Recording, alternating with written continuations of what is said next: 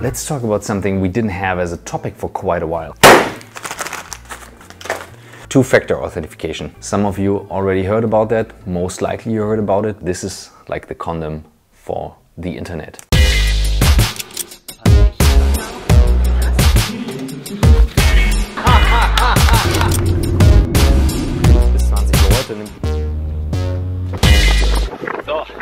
So if you're working online or in a browser, can log in from anywhere on the planet. And the point is whoever would have your password could log into your account, cloud account, your Facebook account, your Twitter account, anything. You sometimes experience that your friends wrote my Facebook account has been hacked, my Google account has been hacked. They did not hack your account, your password. Launch order confirmed. Holy shit. Or you did not have a two-factor authentication. It's like like the transaction you know from your bank account. You receive an SMS or you have like a generator app that changes the code every like here minute. Consider your email account as your ID on the internet. You can reset every almost every account with your email account. So whoever has your password to the emails would also then be able to reset all the other passwords you have. It's probably gonna be a bad day. And if you don't use a two-factor authentication to secure that account, it's your own fault if that account is hacked because it's quite easy to get your password or to guess your password. Okay, so let's have a look here. I will show it to you on the on the Google browser because we were completely online. And if I now click on that and I say you need to get access in Chrome for that, so I click here and I say great, my email address is and my password is password1234 no, it's not, obviously. It sends me a message on my phone trying to sign in from another computer. If I click no, it will not be possible. If I click yes, it logs me in.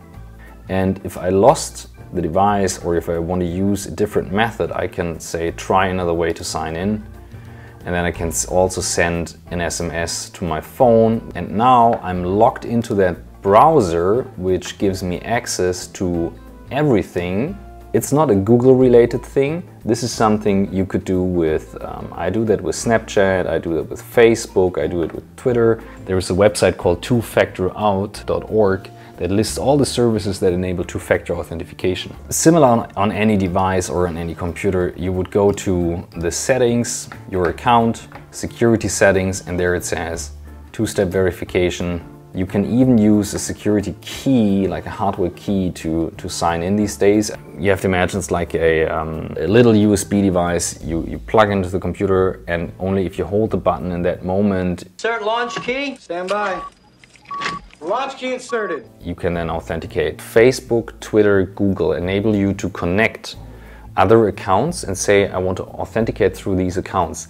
Then these connected accounts use the two-factor of Facebook, Twitter or Google. So that's a good thing to do. Um, I most of the times use my Gmail account, my Google account to do that.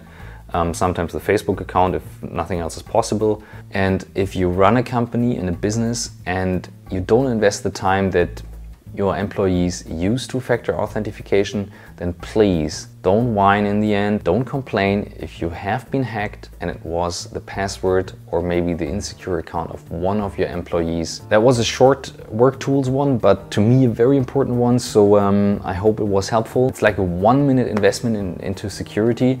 No reason not to do it. See you next week. And now I need to clean up this mess. Oh, and if you wonder why I have condoms in my office, there is another video. Check it out. Hast du schon mal ein Kondom mit der Nase aufgelöst? Nee. Du musst die Brille ausziehen. Hände rein. Am besten ziehst du es dir über eine. Ja, das Silikonblatt geht drauf. Hinten